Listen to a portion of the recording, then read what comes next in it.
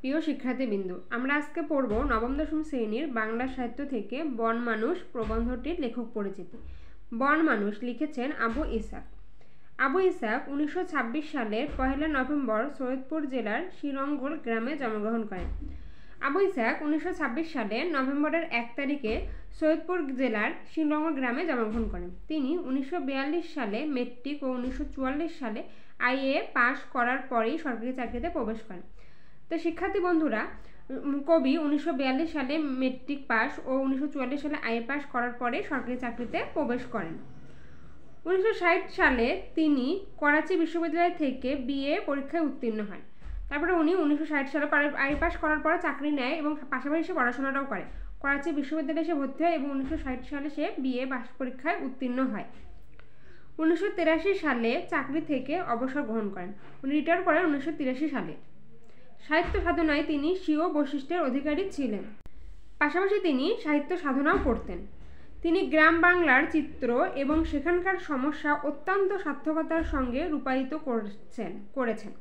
তিনি গ্রাম বাংলায় যে চিত্রগুলো দেখতেন এবং সেখানকার সমস্যাগুলো, সেগুলো শব্দটা সৌন্দর্য আছে সব কিছু মিলে সে লেখায় রূপ, রূপদান দিতেন।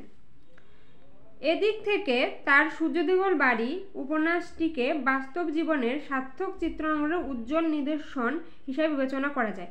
এদিক থেকে উনি সব কিছু দেখে সূর্যদিগল বাড়িটা যেভাবে উপস্থাপন করেন উপন্যাসের মাধ্যমে, সেটা একদম বাস্তব জীবনের সাথে বাস্তব জীবনের সাথে জড়িয়ে তিনি উপস্থাপনটা করেন। সূর্যদিগল বাড়ি উপন্যাসটি আমাদের সাহিত্যের একটি উল্লেখযোগ্য সংযোজন। উপন্যাস সাহিত্যে অবদানের জন্য তিনি উনিশশো ষাট সালে বাংলা একাডেমি পুরস্কার লাভ করেন। তার মানে আমরা এটা পড়ে বুঝতে পারলাম, লেখক পড়াশোনা করে আই পাস করার পর চাকরি শুরু করে এবং চাকরির কলাকালীন সে পড়াশোনা করে এবং সাহিত্যও চর্চা করে। এবং সেই সময় দেখেন, এখানে উনিশশো ষাট সালে তিনি করাচি বিশ্ববিদ্যালয় থেকে বিএ পরীক্ষায় উত্তীর্ণ হয় এবং উনিশশো ষাট সালেই সে সাহিত্যের জন্য, উপন্যাস সাহিত্য অবদানের জন্য তিনি একাডেমিক পুরস্কার লাভ করেন। তার মানে তিনি পড়াশোনা করছে, চাকরি করছে এবং সাহিত্য চর্চাও করছে। একাধারে তিনি সব কিছু একসাথে করেছে তার রচিত গ্রন্থগুলো আমরা পড়ব। সূর্য দীঘল বাড়ি হারেম, মহাপতঙ্গ, পদ্মার পলিদ্বীপ ইত্যাদি। তাহলে তিনি তার উল্লেখযোগ্য যে রচনাগুলো ছিল, সেগুলো হচ্ছে সূর্য দীঘল বাড়ি, হারেম, মহাপতঙ্গ, পদ্মার পলিদ্বীপ। আবু ইসাক দুহাজার তিন সালের সতেরোই ফেব্রুয়ারি ঢাকায় মৃত্যুবরণ করেন।